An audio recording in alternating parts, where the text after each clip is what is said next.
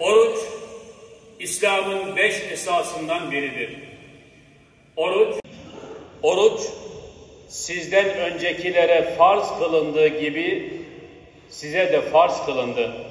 Hadisi şerifte ise Resulullah sallallahu aleyhi ve sellem Efendimiz şöyle buyuruyor.